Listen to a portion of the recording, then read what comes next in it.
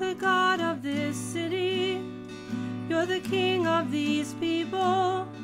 You're the Lord of Are you planning to go to the mission again? I plan on spending as much time doing the, as many years doing the mission trip as possible. It is probably one of the best experiences I've ever had, just because You're like the the peace people, to the the calls, um, growing in my faith. It's awesome.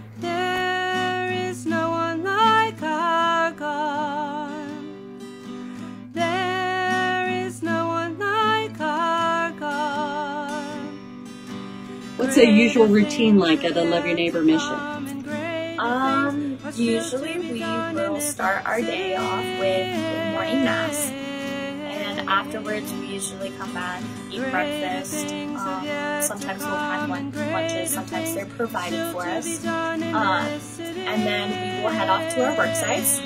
Um, we usually work until about four. Um, some somewhere in between that time, we'll break for lunch. Um, and sometimes we'll get offered like snacks and stuff like ice cream. We'll have like a water balloon fight and it's, it's really fun. But usually after all the work is done, we will clean up and we will thank God for showers. We will, we will go, we'll get some time to shower and clean up.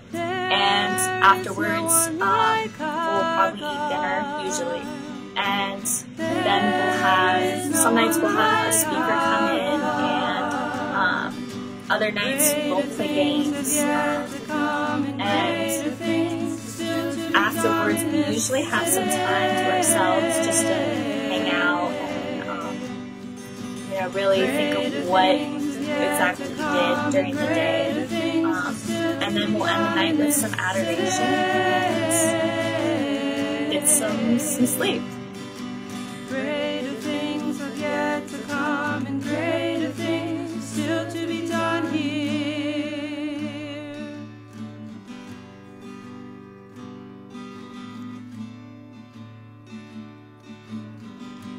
I'm Ben Water. I've been a team leader for Love Your Neighbor for three years, half a year. And the whole experience was really moving and really fun. We had a lot of fun. Did different activities at night and during the day. We did color bombs, we did water, balloons, we did, uh, we did daily mass every day, which was pretty cool. Uh, something that most realized if not all of us don't experience on a regular basis. Um, and then the actual work was so much fun. We made so much fun. We had music going, we sang songs. Working really hard. Um, I learned that weekend from all the stress that I had no idea how to paint. Um, that was a fun experience, learning how to in a house, and then a garage, and then just kind of being able to use that in my everyday life too. And seeing those faces and the people that we were helping, uh, it was really inspirational, really moving um, to know that we, we did that. We made their lives better in a significant way.